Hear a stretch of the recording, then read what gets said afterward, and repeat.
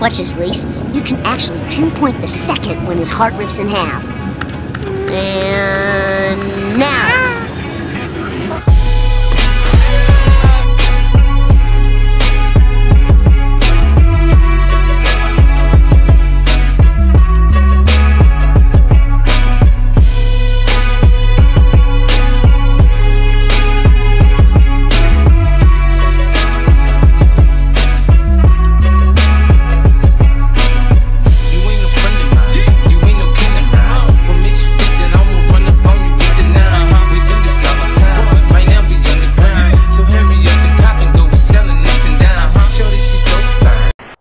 Like I'm wearing nothing at all.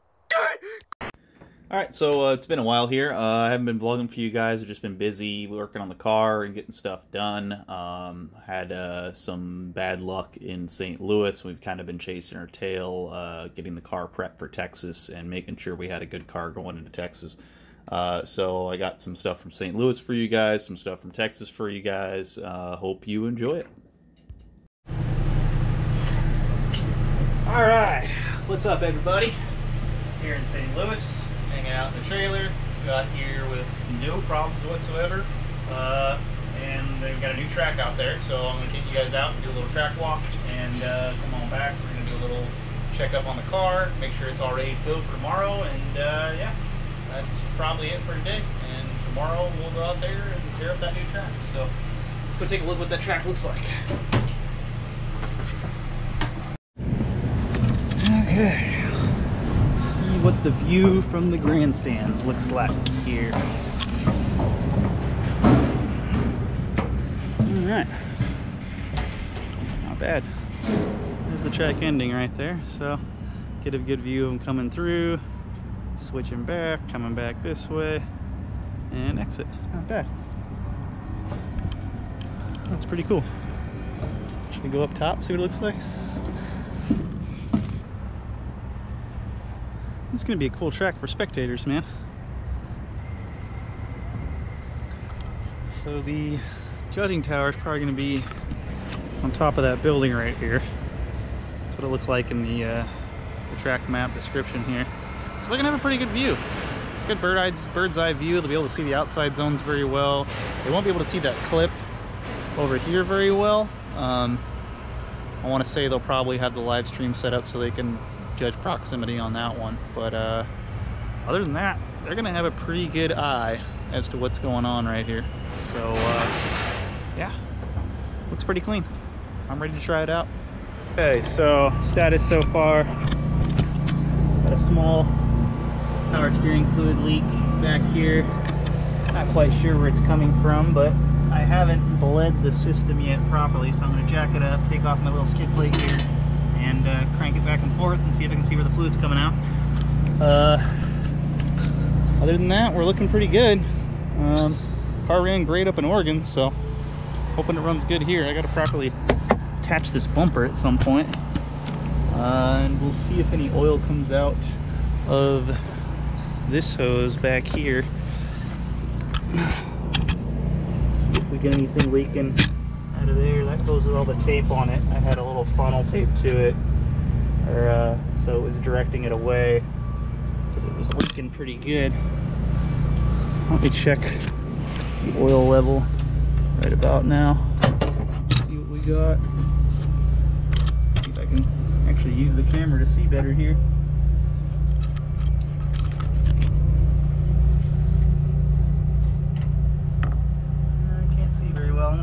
I The H on my way, but this bitch here came for Hermes. Oh, oh, okay. I did pop me a birthday, cause I heard help with the thing, but you hit my back.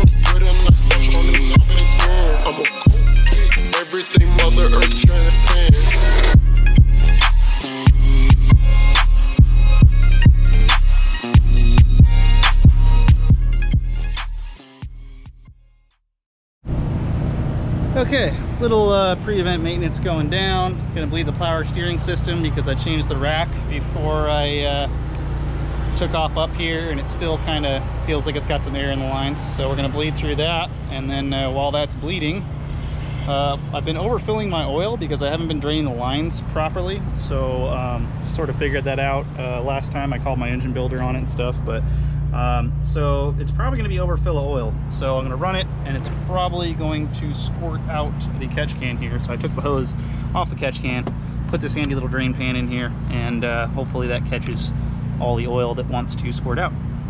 We will see. Let's give her a try.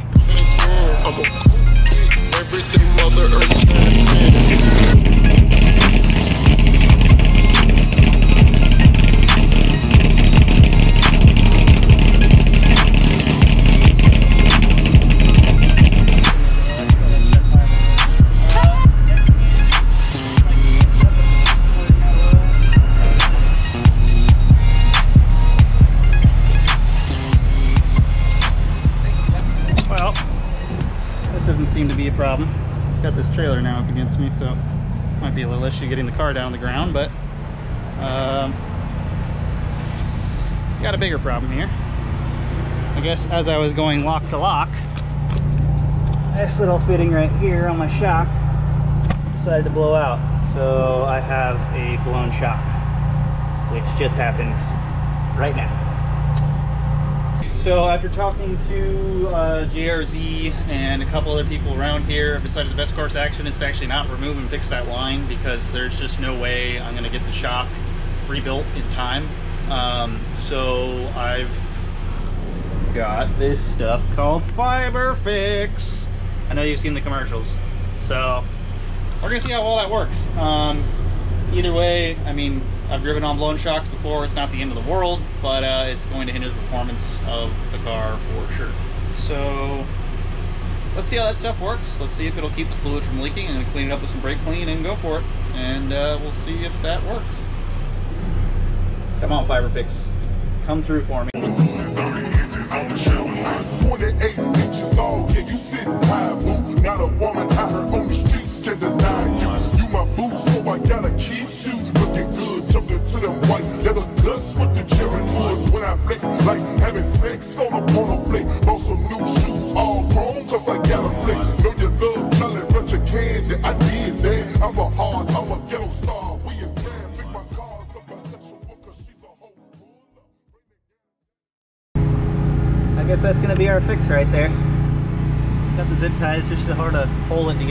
dries.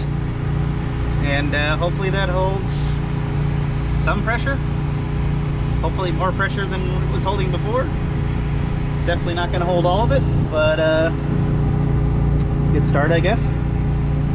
So that's that. We'll clean up this shock oil and uh, get the car on the ground, take it for a little drive, see how it does. So on my test drive, I noticed that the shock was leaking heavily because I was under use, and uh, the ride height actually started to drop uh, significantly. We lost about an inch of ride height on that corner. Uh, the blown shock is one thing, but losing ride height will really upset the balance of the car, so I opted to look for a spare coilover that I could borrow from someone. Good boy. He's a good boy. Alright, so uh, I don't know where I left off really. I think uh, I left off with telling you guys the shock was blown and I was trying to figure it out. I ended up borrowing a Feal coilover from uh, Sorensen Motorsports. They were lucky enough, or they were nice enough to lend me one. So I got that on there. It was a mission to get off. I had to take off that back lollipop and swing the control arm way up here and disconnect the tie rod. It was just, it's a pain in the ass to swap coilover on this car actually. Uh, so, got that done camber is going to be a little different than the other side, um, but toe should be fine. And uh, just going to drop the car here and check the ride height. So uh, let's go ahead and let's drop it. See where she sits.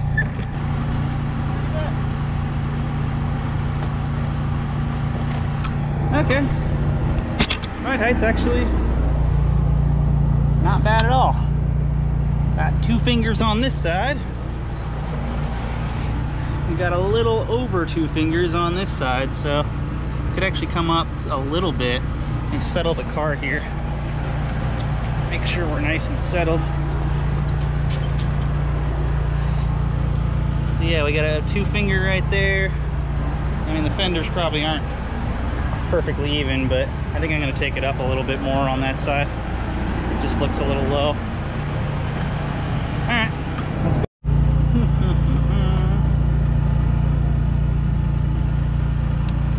okay, not bad. Looks about right. Just over two fingers on that side. Just over two fingers on this side. We are gonna leave it there and take the car for a quick drive. And uh, yeah, see how this thing actually works. So when we head out for our first practice session, the fans uh, didn't turn on and the car overheated.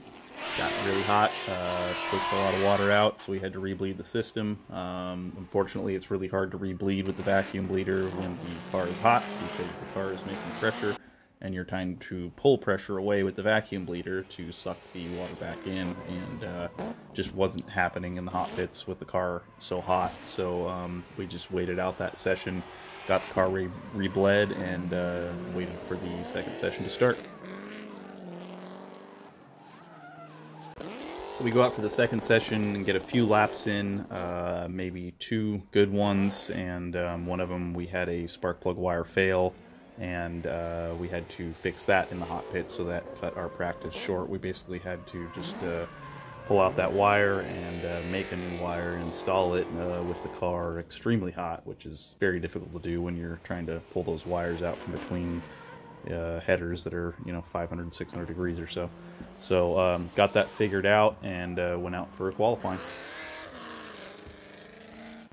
So during qualifying, my runs were mediocre at best, I would say. Um, you know, they were clean runs. They were just slow, and I was off throttle a lot. I hit the zones and I hit my line, you know, relatively well. But um, you know, looking at the video of the runs, it just, you know, I wasn't hammering down, you know, and I really should have. Um, but unfortunately, you know, when your confidence is low on a new course like that, and you only got a few laps under your belt, um, it's difficult to hammer down. And I also should have probably dropped my tire pressures at least five to ten pounds because uh, there was very little grip out there. But um, I didn't want to have too much grip coming out of the uh, first hairpin because you really have to have a lot of uh, speed to make it to the to the uh, second outer zone, or third outer zone uh, at the end of the track there. So um, fortunately, just didn't qualify well. I think our scores were in the 60s or the low 70s or something, and that was the end of our weekend. And uh, we prepared for Texas.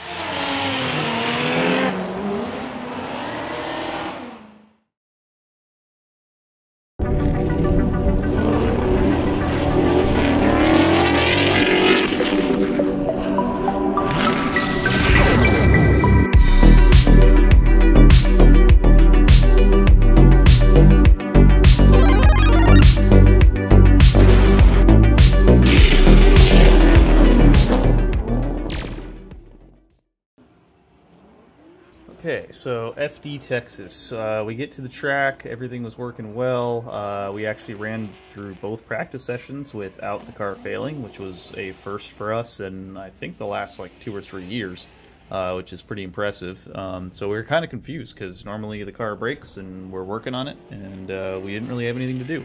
So um, we just uh, kept practicing, kept trying to figure out the course a little better, and uh, got prepared for qualifying.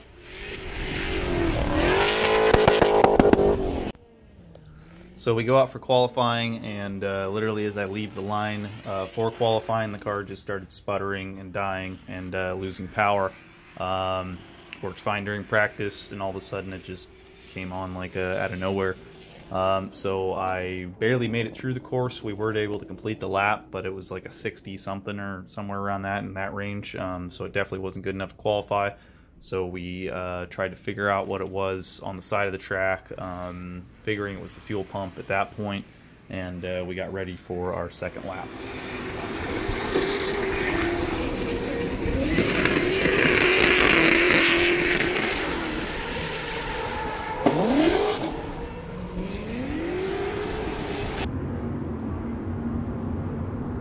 And Andy Hateley and his team.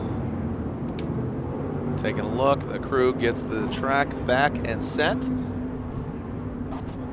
So we go out for our second lap, and we're sitting there waiting in line, and uh, it turns out that uh, the lights that were supposed to show up for Pro 2 qualifying didn't show up on time, so the track was just completely dark. So they actually uh, called qualifying for the night and resumed qualifying the next day. So this gave us time to find a fuel pump and get it in the car uh, for qualifying. So it actually worked out pretty good. So we get there the next day, we get the fuel pump in the car, and uh, we only had uh, one sight lap, and then we were off to our qualifying lap. There was no practice and no prep because uh, it wouldn't be fair to the other drivers who had to qualify the night before. So uh, we did our sight lap, and the car was breaking up still um, with the new fuel pump. So we swapped uh, map sensors to see if that would cure the problem, and sure enough, it didn't. It actually got worse. Uh, as I was doing donuts, it, the car was just completely stalling out. So we called five minutes uh, right before our qualifying lap, and uh, we swapped the map sensor back to the old one, and the car worked a little bit better. Um, we went out for a qualifying lap, and uh, the car was breaking up again. As soon as I got into fourth gear and really laid on the throttle, the car started cutting out completely and the car straightened out as we were going down the straightaway. And that was that. That's the end of our season. Uh, super disappointing. Um, it's three DNFs and uh, one top eight. So uh, worse than last year. We are looking to do better this year, but uh, unfortunately it just uh, didn't work out for us. So uh, next year we're going to bring a better car, figure out if we're going to swap ECUs, go to a different ECU possibly so we can data log stuff and figure out these problems before they happen. Um, and uh, yeah, that's that. See you guys next year. Damn.